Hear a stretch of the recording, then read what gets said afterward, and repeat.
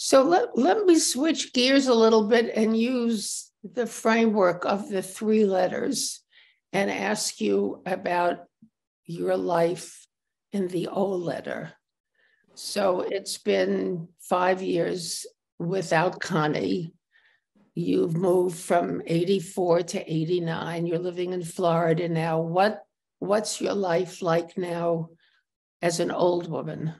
Uh, what my life? Well, fortunately, um, as an old woman, all of my years, I have always had a trainer.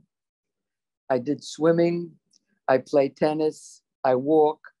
I eat well. I was one of those, uh, what do they call those people that uh, I forgot already? you know, I, I eat well. I don't eat crap. I have, uh, I made a deal with myself chocolate instead of alcohol because alcohol and chocolate both have calories. I don't want the alcohol calories because they don't serve me, but the chocolate, okay. So I have every night a wonderful kind of a tea, whatever serves me, whether it's a health tea, whether it's a sleep tea, whether it's a stress tea or whatever, with two dark chocolate grains. As far as being old, I first am experiencing in the last year physical symptoms of being old. And that for me is walking slower, taking care of myself in more of a way, making sure that I have the routine of breakfast, lunch, dinner, supplements, fruit and veg, uh, vegetables, fruit in between, et cetera, et cetera, a whole program. Uh, also, what I need, I am someone who loves to have people. So being alone five years was very, very difficult. And uh, I'm grateful. There are many people here to choose from. There's a lot of activities to participate. Last night, I went to the theater that we have here. I live in Century Village, West Palm Beach. And the theater had a wonderful singer. And I went with a couple of my friends, straight women. It doesn't matter to me anymore because I am not interested in forming any kind of romantic relationship. I had the best. Why even try? So I'm fine. And uh, what what isn't so fine for me is having children and grandchildren living all over the United States and far away. Nobody lives near Florida, and that's become difficult because th- at this particular time of my life, family is number one as it has been, and even more so. Yeah. Well, let, let, let's go back a little bit there, Ruthie. For people who are seeing the film for the first time um, and got a sense in the film about the difficulty it was for your kids when you came out what has been the trajectory over all this time with your kids and your grand, grandkids? How did all that end well, up playing out? With my kids, it was only one, one, one, one son that kept away from me. Uh, and then it reached the point in my life when he had children. I said, "Hey, that's enough. I'm the grandmother," and uh, went to visit. The kids were delightful to me, and and we have come together. He has an just a delightful. I'm very fortunate. I have wonderful in-laws, and uh, of my children's, and uh, my children's children accepted. My gr- grandchildren were totally open, sure. shared with who I was, with their friends, with the people uh, that they were in contact with, with the work, and uh, it made it simpler for them. Right. Well, that's the, that's the generational change too, don't you think? That the the world has changed for them. Well, they're not. They're all different ages. I'm very ah, grateful. I have them from young teenage all the way to the 30s and I in see. between. I so see. it's it was different. Right. Mm, right. But it still happens when you speak up. It yeah. still happens. Yeah. In a more positive way right? and and I learned to speak up very early in life, very early in life. Tell the story. Well, the story was well to begin with. My mother was physically handicapped. She had polio. So handicapped people, when I was a little girl, and my mother had handicapped friends, I was so sensitive to it that I would run away in a corner and start and cry to see these people. But then I and and my mother tried to explain it to me, and I seem to have understood. My father died when I was 10, and his education came in a different way, and that we can bring up later. Uh, but my mother was very keen on education. So my going to kindergarten was like a birthday for her. I go to kindergarten, and the story, I was so happy in school. And at that time, it goes back a long time, uh, you were in a particular seat with a desk. Next to me was Arthur. Now, this goes back, what, 84 years? And I remember Arthur's name. I could take it to the classroom, I could take you all over. I have this wonderful picture that I'm taking home to show my mother. I'm so excited. My bubby is downstairs, four flights down by the school, waiting to take me home because I had to cross a boulevard street as one of the streets to get home. And my mother was working. So what happens is Arthur comes over to my desk and tears my paper, my picture. Well, what was I going to do? The teacher didn't see it. She was fixing the, the blinds. Well, I pick myself up. I go to Arthur. I tear his picture. Guess what? The teacher sees it. And she says, You're staying in. First day of school. What the does staying in mean? And I said, I show my picture. I said, Arthur did it to me as well. She says, Arthur, you're staying in. Well, we caught on what staying is meant when everybody left. And about, I don't know how many minutes later, the teacher takes a white fish sandwich and starts to white white uh, bread sandwich and starts to eat lunch turns around and says to arthur you may leave. That was the clicker. Arthur you may leave. Who did it to me? Okay Arthur leaves. What am I going to do? My bubby's waiting downstairs for me. Maybe. Who knows? She won't know what to do. She has no idea. She doesn't speak English. The teacher goes back to her sandwich, turns around. Ruthie runs down four flights. No bubby. Crosses over Stone Avenue, Christopher Street, Sackman Avenue. Finally gets home my mother comes home and I'm just crying, crying, crying. I am not going back to school.